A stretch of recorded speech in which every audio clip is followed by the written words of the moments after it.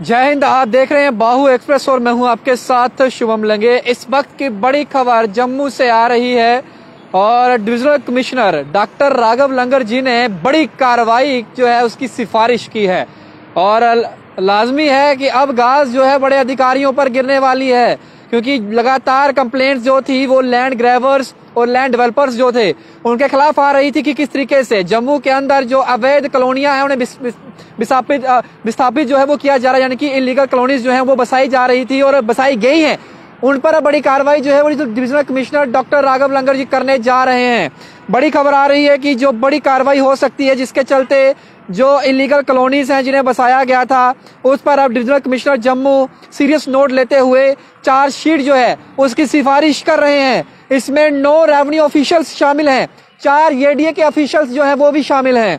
दरअसल सोर्सेज ये बता रहे हैं कि ऑफिशियल जो कार्रवाई है, वो की जाएगी। उनके खिलाफ जो जो मेजर वॉयलेशन जो की गई है ऑफिशियल्स के द्वारा और जो रिकमेंडेशंस जो हैं, वो दी गई हैं ताकि जो वायलेशंस जो की गई हैं इन ऑफिशियल्स के द्वारा, जिसमें दो तहसीलदार रैंक के ऑफिसर्स शामिल हैं एक naib tehsildar rank officer officer जो है वो शामिल है। दो गिरदौर जो थे वो शामिल हैं।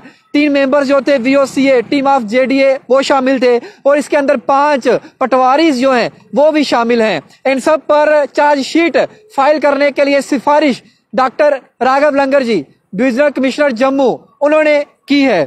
Divisional commissioner Jammu doctor Raghav Langer की बात करूँ तो उन्होंने एक सरप्राइज़ विज़िट जो थी चार फरवरी को, वो की थी और उन्होंने इंस्पेक्शन की थी। जितनी भी कॉलोनीज जो हैं, वो डेवलप की गई थी वेरियस डेवलपर्स के द्वारा या फिर लैंड ग्रेवर्स के द्वारा। उन पर जब उन्होंने इंस्पेक्शन करी तो बड़ी सारी वायलेशन पाई गई। वो वायलेशन के चलते इलीगल कॉलोनीज जो बसी हैं, अब बड़ी कार्रवाई होने वाली है। उन लोगों के खिलाफ जो इनमें शामिल हैं, बख्शा किसी को नहीं जाएगा। चाहे वो जेडीए का ऑफिशियल है चाहे फिर वो रेवेन्यू विभाग का कोई बड़ा अधिकारी क्यों ना हो, क्योंकि इसमें नौ बड़े अधिकारी रेवेन्यू ऑफिशियल्स हैं और चार जेडी ऑफिशियल्स जो हैं, वो भी इनके अंदर शामिल हैं, जो जो उल्लंघना की गई है, जो वायलेशंस की गई हैं। इन सभी के द्वारा जो कॉलोनियाँ बनाई गई थी उस दौरान। और ये कहा जा रहा है कि इसमें दो तहसीलदार रैंक के ऑफिसर भी, एक नैब तहसीलदार भी, दो गिरदवोर्स भी, और तीन मेंबर जो है बीओसीए टीम के जेडीए के हैं ये, और पाँच पटवारी जो हैं वो इसमें शामिल हैं, जिनकी सहायता से इन इलीगल कॉलोनीज को बसाया गया था कुछ समय पहले। और अब जब डॉक्टर राघव लंगर जी ने विज़िट किया है तो पाया गया है कि इन कॉलोनीज को बसाने के पीछे बड़ी ज़्यादा वायलेशन की गई थी, जिसके बाद इनको डेवलप किया गया है। अब कार्रवाई की जाएगी, क्योंकि वायोलेशन पाई गई हैं और जो जो उसमें शामिल था, जिन जिन्होंने परमिशन दी थी, उन सबके खिलाफ अब कार्रवाई के आदेश दिए गए हैं और सिफारिश की गई है कि चार्जशीट फ़ाइल हो और कड़ी से कड़ी कार्रवाई की जाएगी, बख्शा नहीं जाएगा।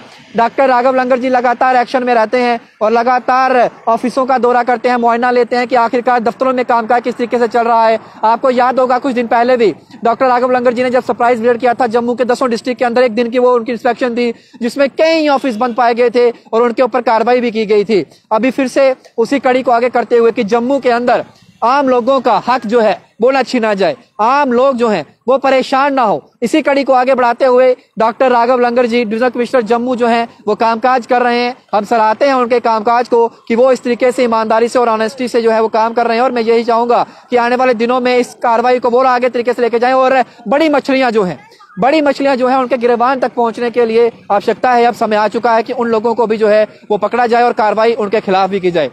आपको क्या लगता है, डॉक्टर राघव लंगर जी के इस फैसले से क्या कुछ बदलाव जम्मू के अंदर देखने को मिलेगा? क्या वाकई में कार्रवाई जो है वो की भी जाएगी या फिर महज पन्नों का हिस्सा ही बनकर रह जाएँगी? ये बातें आप अपनी रेकमेंड बॉक्स में रखिएगा। बाकी तमाम अपडेट्स के लिए बन रही बाहू एक्सप्रेस पर। के साथ शुभम लंगे बाहू एक्सप्रेस के लिए। जय हिंद।